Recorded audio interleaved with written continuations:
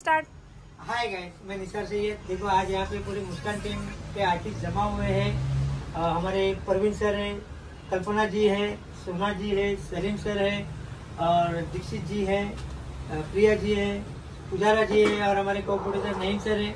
और हम लोग बहुत जल्द अभी आना आना की प्रोमो करने वाले गाने का शूट चालू करने वाले तब तक के धन्यवाद।